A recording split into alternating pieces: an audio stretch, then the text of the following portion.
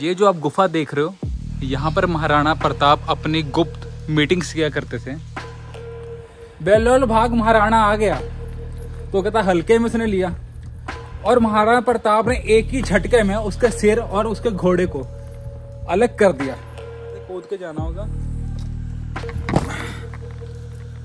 Hello दोस्तों, आज मैं आ गया हूँ हल्दी घाटी के पास। आप मेरे पीछे देख सकते हो कि महाराणा प्रताप की मूर्ति है। और हम जाएँगे कि घोड़े ने कहाँ से छलांग मार थी, हम उस तरफ़ भी जाएँगे। और आप देख सकते हो कि यहाँ पूरा प्रॉपर व्यू कैसा का है।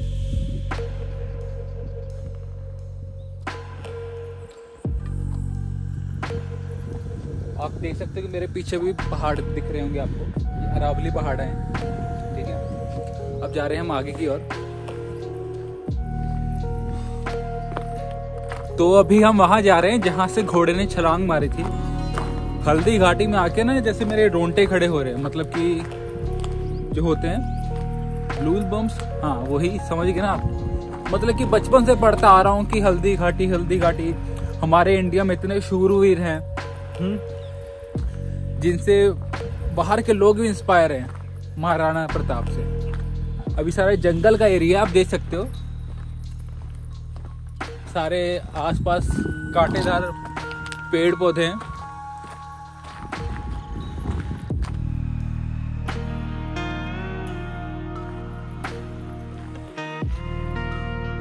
जाना होगा।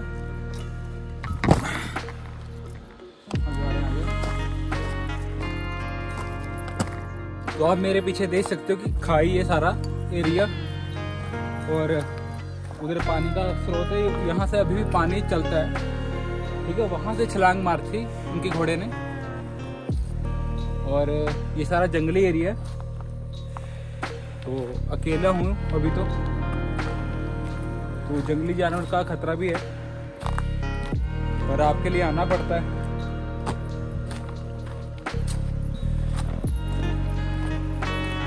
आप सुन रहे हो पानी की आवाज़ को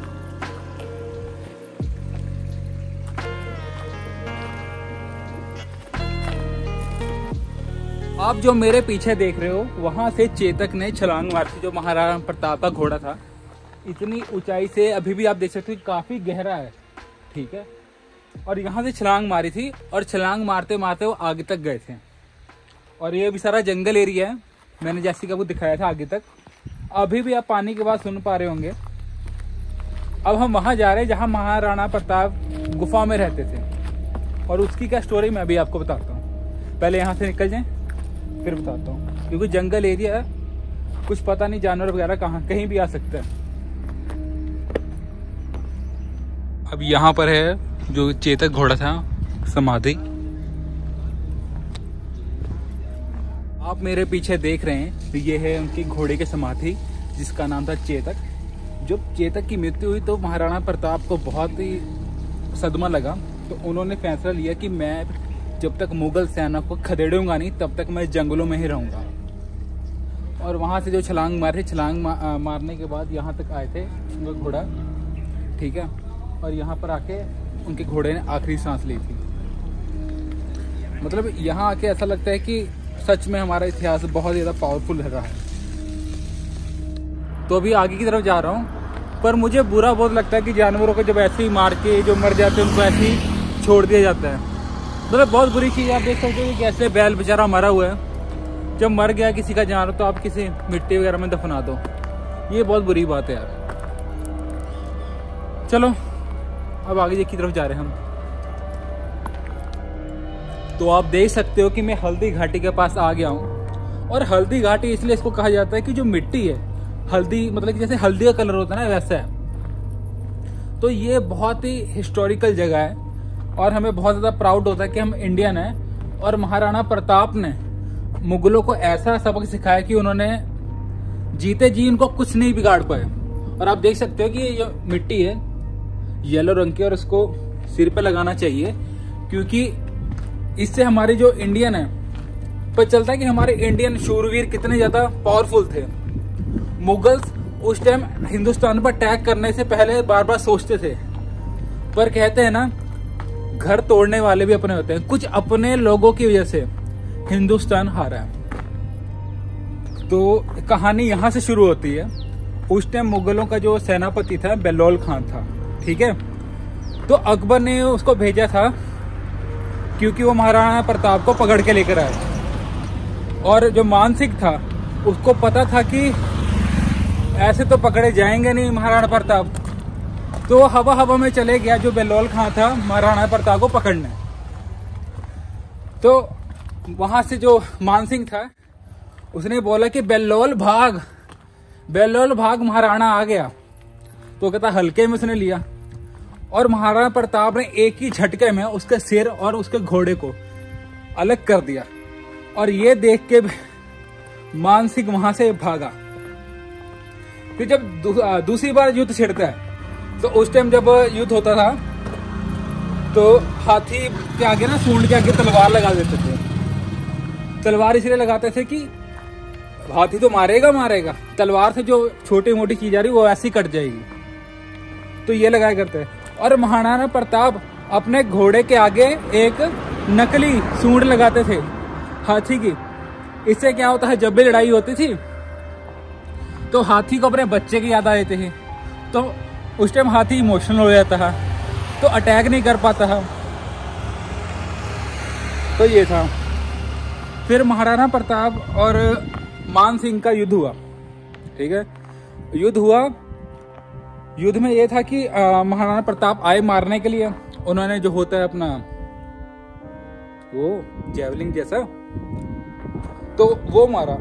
जो वो था, लग गया मानसिंह के कवच के अंदर घुस गया। महाराणा प्रताप को लगा कि मानसिंह का तो हो गया काम तो वो छोड़ के चले गए। पर इसमें यह नुकसान हुआ, जब घोड़ा चढ़ा हाथी के सूंड के ऊपर तो सूंड के आगे लगी तलवार। तो तलवार से जो घोड़े का निचला पैर कट गया पिछला। ठीक है? और वहाँ से एक अफवाह फैली कि अकबर भी अपनी सेना लेकर आ रहा है। जो मुगलों की धज्जियाँ उड़ी हुई थी, उनके अंदर एकदम हिम्मत आ गई। हिम्मत आ गई? जाने दो।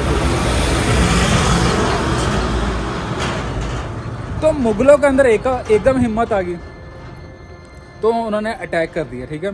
तो महाराणा प्रताप को चारों तरफ़ से घेर लिया। और फिर महाराणा प्रताप को यहाँ से छोड़ के जाना पड़ा।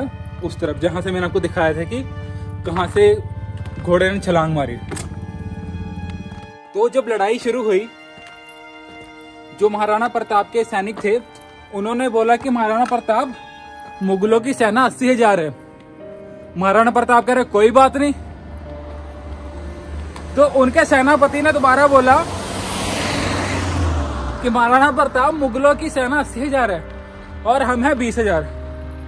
तो महाराणा प्रताप ने बोला, हम लोग बीस हज़ार और मैं एक लाख. मतलब कि देख रहे हो कॉन्फिडेंस लेवल इतना था उनका। तो एक और अफवाह फैली कि अरे अकबर के आगे महाराणा प्रताप झुक रहे हैं। तो बीकानेर के जो कवि थे और राजा थे, उन्होंने लेटर लिखा कि अब शेर गीदड़ों के आगे झुकेगा। अब शेर कुत्तों की तरह रहेगा। और ये लेटर सुनकर महाराणा प्रताप को बहुत ही ज़्यादा गुस्सा आ गया।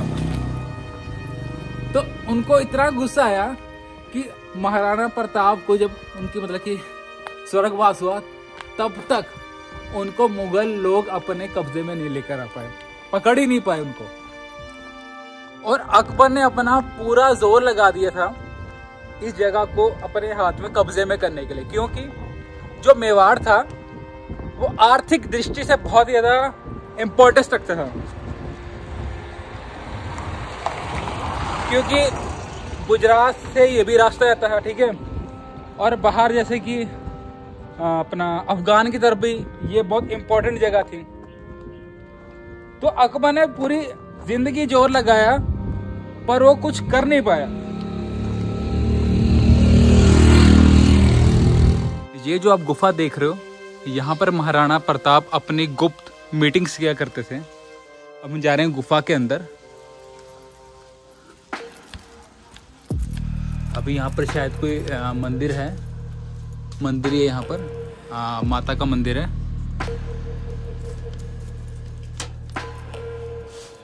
अंधेरा काफ़ी ज़्यादा है। और हम माता जी को अपना नमस्कार करके। और यहाँ हनुमान जी की भी मूर्त है। जय हनुमान। और यहाँ गणेश जी की भी मूर्ति है देख सकते हो। और कहते हैं कि महाराणा प्रताप एक दिन में बारह बार जगह अपनी बदला करते थे। और वहाँ पर भी मंदिर आप देख सकते हो।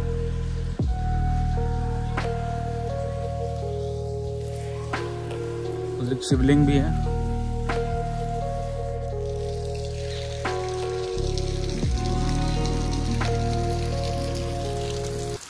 तो आप देख सकते हैं कि उस तरफ़ महाराणा प्रताप जी की गुफा है और साथ में ही बिल्कुल सामने की तरफ़ शरबत की वो है। विश्व प्रसिद्ध। ये हमें अंकल थोड़ा बताएँगे। बताना। आइए मैं गार्डन में लेके चलता हूँ। अभी हम गार्डन में जा रहे हैं।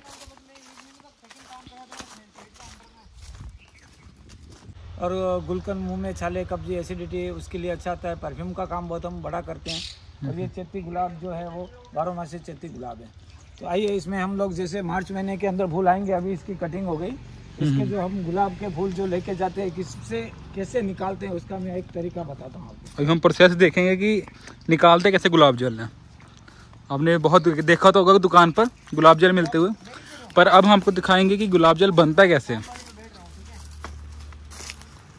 आप जो तांबे का बर्तन है इस बर्तन के हमने 30 से 35 किलो गुलाब के फूल डालते हैं।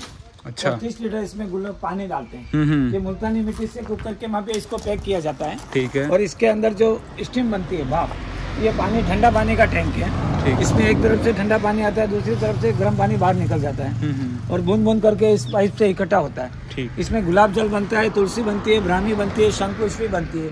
और डायबिटीज़ के लिए जामुन अर्क बनता है जो जामुन का अमृत डायबिटीज़ अमृत हम्म हम्म। जो इससे तैयार होता है। जो ये अर्क है आँख और स्किन के लिए काम आता है। गुलाब अर्क ओके जो चेहरे के लिए काम आता है पूजा में हवन में लस्सी में खीर फालूदा आइसक्रीम मिठाइयों में काम आता है। हम्म देखिए ये है रोज शरबत जो चैत्री गुलाब का जो शरबत आता है इसमें दो ढक्कन शरबत डालना है आपको है ना? ये देखिए। अब इसमें या ठंडा पानी या ठंडा दूध। अपन ठंडा पानी लेते हैं। ठंडा पानी से थोड़ा सा शरबत का स्वाद आ जाता है। इसको आप पलटी कर लो। दूध या दही डाल के इसको पलटी कर लो।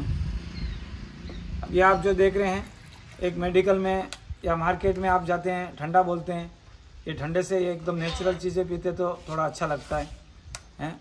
ये आप टेस्ट करिए, रोज़ शरबत। मेहमान आ गए, चाय बनाने की ज़रूरत नहीं, ये शरबत पिलाओगे तो और अच्छा रहेगा। कौन ले बेटा पास में? बिल्कुल अच्छा टेस्ट है। और मीठा एकदम सही है। ज़्यादा भी नहीं मीठा। और मिश्री यूज़ करते हैं। और इसमें मिश्री यूज़ करते हैं। काफ़ी अच्छा टेस्ट है। ये देखिए आप सौंफ का शरबत। आप खाना खाने के बाद में सौंफ खाते हैं है ना? खाना खाने के बाद में आप शरबत पीजिए। तो इससे क्या होता है अपनी पाचन क्रिया में बहुत अच्छा लाभदायक होता है। ये। ये पेट में गर्मी और कब्जी एसिडिटी के लिए बहुत फ़ायदेमंद है। बस इसी तरह से इसको पलटी कर लो तो आपका ये शरबत बन जाएगा मिश्री वाला। तो आपको मार्केट से ठंडा पीने की ज़रूरत नहीं है। केमिकल मुक्त। तो अभी हम ये सौंफ वाला है? हाँ जी सौंफ सौंफ का ट्राई करने लगे। बिल्कुल नेचुरल टेस्ट आ रहा है। अच्छा टेस्ट है। और मिश्री यूज़ करते हैं। मिश्री यूज़ करते हैं। इसी तरह से पान। आपका पान का इसी तरह से है।